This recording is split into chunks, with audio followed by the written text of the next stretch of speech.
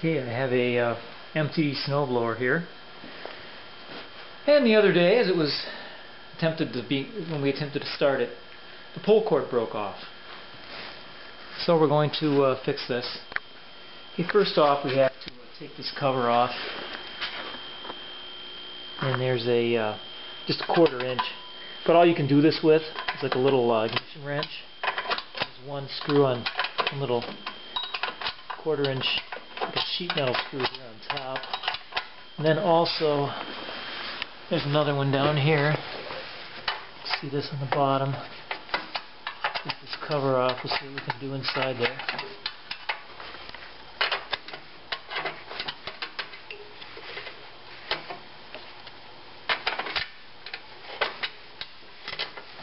There's one. Okay, we have them both off. And there's the cover. So it looks like all of our work on this machine will probably be done inside. Okay, our pull cord broke right near the end, right near where it's uh, tied up inside the winder here. And the rest of the cord looks alright. Besides, I feel a little lazy today. I don't feel like running to the store to get one. So I'm just going to make it slightly shorter and uh, fix this pretty quick here. Now one thing I'm, I'm going to do here is a little bit different maybe, is I, I've measured the cord. And the cord's 143 centimeters. Yes, I love the metric system. Simpler. So I've measured this at 143, so I'm going to figure out how many winds I have to make on this to wind it up to where the cord, when it comes out, when it pulls back, is going to pull back all the way, reseating the handle.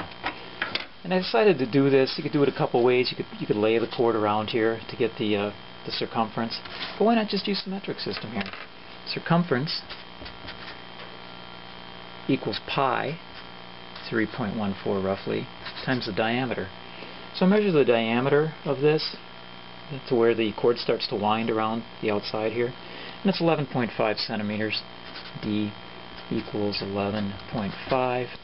So we multiply 11.5 times pi, 11.5 times 3.14 equals 36.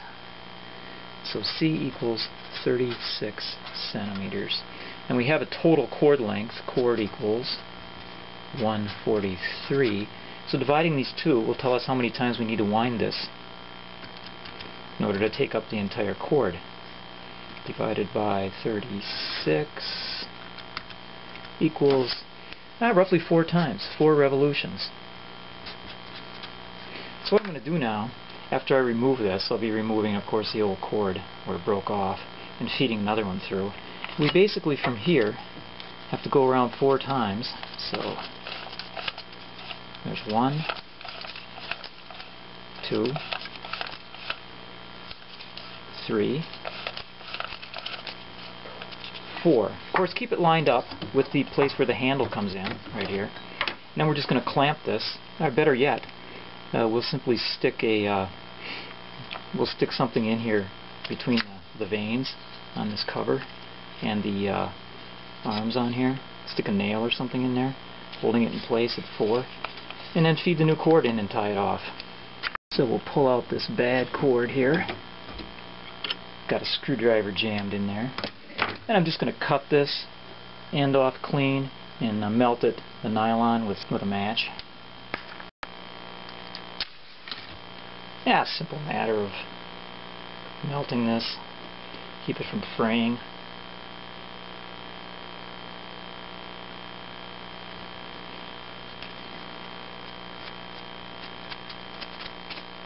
Watch out, that's hot.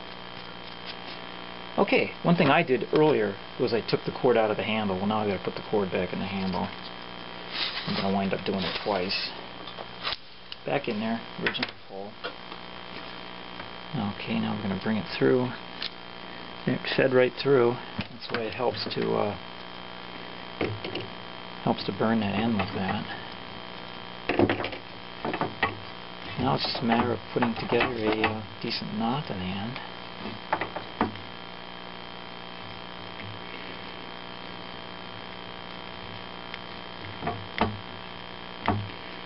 Do not want this to slip. Time we're going to be back in here again. Although this is not what I would call a difficult job.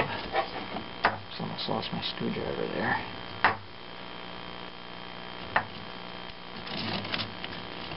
Okay, it's back in there. Now, if this is correct, this should wind this cord up. Wait. Voila. It's a matter of putting it back on now.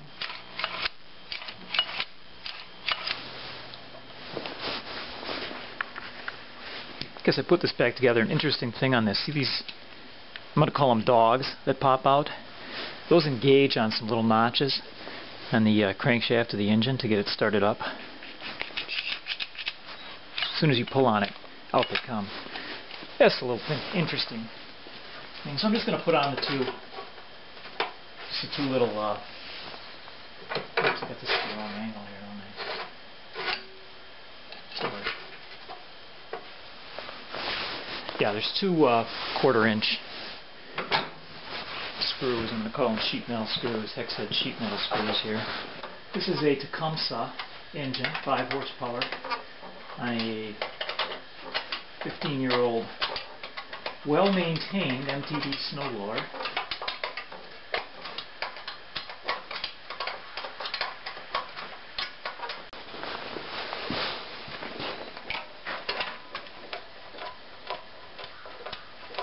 Little priming,